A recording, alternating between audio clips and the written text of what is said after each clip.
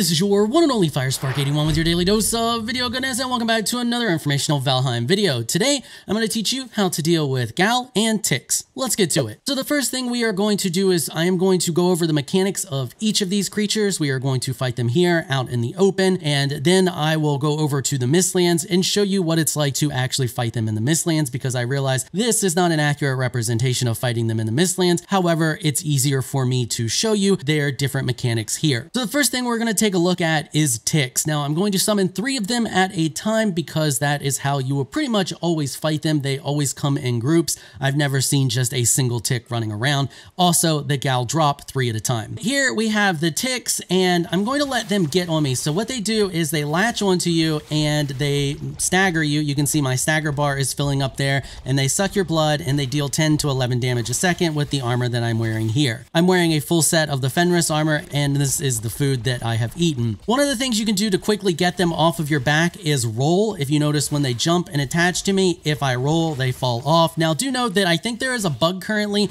because there are times when you roll and they won't get off of you. They stay stuck to you for some reason. So if you take a look here, if I roll, you can see they're falling off pretty much every time. But do note that I have had instances where they will stay stuck to me even when I am rolling. The other thing that you can do to get them off of you quickly and easily is anything that does AoE damage. So for example, I have a hammer here, and if they're stuck to me and I use the hammer, you can see that not only knocks them back, but it also knocks them off. So it's super handy to have an item like this on you when you are fighting ticks so that you can knock them off fast and easy and damage them. Now, the other thing that you can use is the pole arms. If you take a look here, you can see it does nice AoE damage and it kills them in one hit, which is really nice. I also have it fully upgraded and I do not have the iron sledge upgraded. So there's a big difference there there. So highly advise upgrading this. This is super handy in the Mistlands for a lot of different reasons, one of which is dealing with ticks. I want to pause right here because I forgot to mention something. If they are attached to the front of you, you can just kill them with any weapon at all. It does not have to be an AoE weapon. If they are on the front of you and you swing a weapon, you will hit them. However, if they are attached to your back, your only options for getting them off of you are rolling an AoE weapon or having your friend attack them them. Now do note that you can block to keep them off of you. If you take a look here, if they jump at me and I am holding block,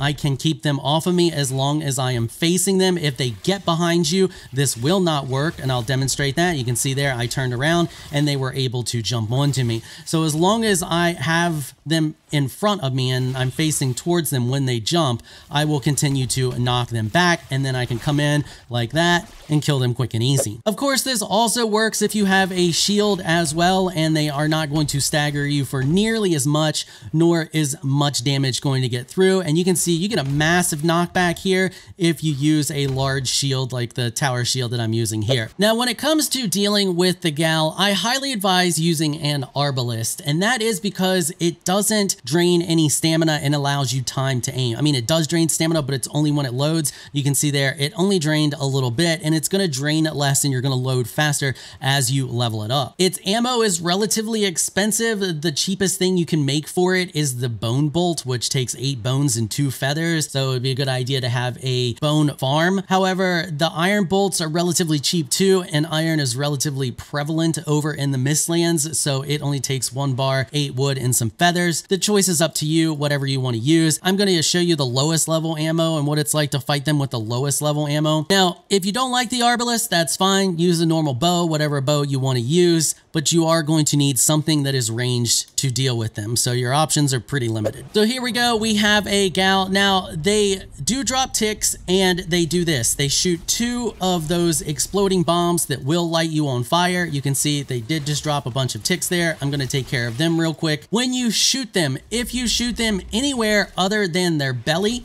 you are going to do less damage. I'm going to aim for the top there. You can see I did 135. If I run underneath of him and I shoot it in the belly, you will see that it is its weak spot and it does 167 and we got yellow damage. Also note that dealing with them is much easier to do if you stay underneath of them and towards the back. They cannot hit you if you stay underneath of them and towards the back of them. Now I know this is difficult to do in some situations, especially if they drop ticks because then they have a chance to get in front of you. As you can see now, now he has a chance to turn around, but what I'm going to do is try to position myself underneath of it, equip my pole arm here and deal with the ticks and get back underneath of him. And of course, there's a hole there because, of course, he would want to go to where the hole is. But as long as you stay towards the back of them and underneath of them, they can't really hit you. That's what I'm going to attempt to do. And they're always going to attempt to try to put you in front of them. As you can see, he's flying off because he wants to get me in front of him so that he can hit me or she, whatever it is. Now I'm going to go back to my Arbalest and I am going to just wait and try my best to stay underneath of it and shoot it. Now in the Mistlands, you also have the option to get above them. And when you do that, they will also try to reset because they can't shoot up. They can only shoot down. And you can see it's just constantly running away from me because it wants to put distance between us so that it can then shoot me. So if I shoot this thing and get its attention and I fly up here to demonstrate, you can see it wants to get above me so that it can shoot down on me because it can't shoot upwards. So if you are in the Mistlands and you're close by to something that you can jump up on, like one of the rocky ledges, you can do that to get this thing to take time to reset. Do note that if you do get on top of them, they can shake you off. It is fun to get on top of them if you get above them, but you can see there he was able to shake me off. So riding them isn't really a thing. You can for a little bit, and you can get a couple of hits in on them if you use uh, any, basically any weapon and you go towards the front of them. But you can see there, once again, it's short-lived because they will shake you off. Your best bet is to do your best to stay underneath of them and shoot them from below. Do note that fire resistance potions and the Fenris armor, one or the other, not both together, will reduce the amount of damage that you take. If you take a look here, you can see that in this clip, I am taking 16.5 damage when I get hit with back-to-back -back shots, and then I drink a fire resistance wine or barley wine, and it reduces my damage down to 8.5. After taking back-to-back -back shots wearing just the Fenris armor, I am only taking 4 damage per tick on the fire. However, having the Fenris armor on and drinking a barley wine and getting hit with back-to-back -back shots, you can see I am taking 4.1. So wearing the Fenris armor and drinking the barley wine do not stack. You either have fire resistance or you don't. So we are over here in the Mistlands and there is one of the gjalls nearby. You can hear it, but I don't see it. Now, I am currently cloaked in God and everything else, but I am going to turn that off for this fight and I'm going to turn it off before I know where it's at because I want to show you what would happen and how you would normally come up on it. Usually you're going to hear them way before they see you or you see them if you are listening for them. So one of the first things I advise doing is not trying to fight these things until you have the feather cape and that is for multiple reasons. One, it's going to make your traversal much easier and two, you're going to want to get up high in order to try to get the jump on one of them. And if you are up high, you may need to jump off the side of a mountain relatively fast in order to keep from getting hit. And if you have to do that, you want to have feather fall. So I have Ghost and God turned off. What I'm going to do is try my best to get up high before this thing sees me. Now, once again, I don't know where it's at. Now, the reasons you want to get up high first is twofold. One, it's going to help you spot it easier, and two, it's going to allow you to get the jump on it before it sees you right there it is. See how easy it was for me to see it? Now, if I was down below, it would have easily spotted me before I was able to spot it. So now what I'm going to do is attempt to shoot it, and we're going to use the arbalest to do that, and we're just going to shoot the top of it. Now, I know, like I told you, the bottom is the weak spot. Of course, you want to shoot for the bottom if you can, but in order to get its attention here, I'm going to try my best to just shoot it to get it to come over here, but right now, it does not seem to care or my arrows are falling short. So what I'm going to do now now is attempt to jump and glide across the way here, and hopefully it does not have any friends with it. And actually, this is a relatively good spot to fight it. It does have some friends with it, so we're going to want to take care of those first before we try to fight this thing. Though I lost them. I'm not 100% sure how many there were or where it went, but it appears that it has left. It was right here. I really want to kill it because I want to go down there to fight it, but you have to take your time and be very, very careful. You do not want to try to fight one of these things with the other seekers around, and I don't know where it went. So what I'm going to attempt to do then is kite it over this way because fighting it around here should be relatively safe and I have things to hide behind if I need to hide behind things. So once again, let's see if we can actually shoot it from here. Okay, there we go. I finally hit it, got its attention. It should be coming over this way. Now, while it's coming over here, I got plenty of time to shoot it as many times as I can before it gets too close. And I'm gonna have plenty of warning when it swells up in order to try to hit me. And that is the warning there. So now what I'm gonna do is jump back here and there's the little buddy that I did not want. Okay, we got him taken care of. We got hit a couple of times there, but uh, we are good. So now what I'm going to do is attempt to get under this thing and stay under it so that it can't hit me. And every time I shoot it, I got to reposition because I knock it back a little bit. There we go.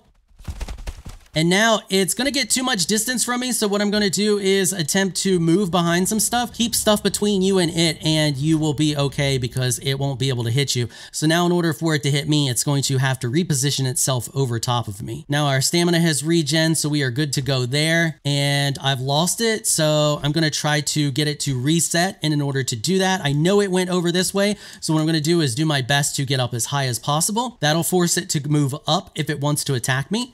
There it is. It can shoot you if you are the tiniest bit in front of it. So keep that in mind. This is a very, very bad spot right here. We do not want to be down here. I had to jump back down here because it had to jump on me and I couldn't see it. Actually, I think this might actually be a good spot. I may be wrong. So if I'm right here and it peeks its head out, it can shoot directly down. Keep that in mind.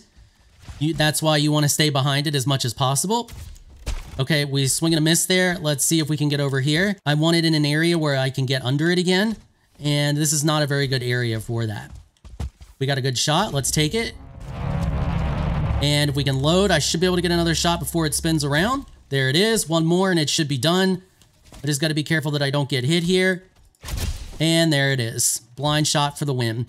So there you go. That's how you would go about doing it if you're fighting them in the Mistlands. The, the most important thing is to make sure you get the drop on it before it gets the drop on you. If it hits you and lights you on fire before you see it, just get out of the way. Just run away and reset and come back later because you have a much lower chance of being successful once it already has the drop on you and it's hitting you, especially if you don't see it. If you do see it and it does hit you once or twice, you're fine or you should be fine if you have enough HP to deal with something like that. Once again, uh, being in the Mistlands, I highly advise eating a lot of high health food. But if you do not see it and it's hitting you, just run away. All right, well, hopefully that gives you a good idea of how to deal with these things, some tips, some pointers, all of that good stuff. If you found this video helpful and informational, consider hitting the subscribe button and a notification bell so you can be notified when I upload other videos. And if you're looking for other awesome Valheim guides, you can find the link to one of those on the screen right now. I want to give an absolute massive shout out and thank you to all of my channel supporters for helping to keep these videos sponsor free. You all are absolutely amazing people. If you would like to become an official channel supporter, check out the links in the description below. If you enjoyed this video, please leave a comment down below. Let me know what you thought. If you're shy, you don't like to comment, just hit that thumbs up button and share your support. Until next time, thanks for watching.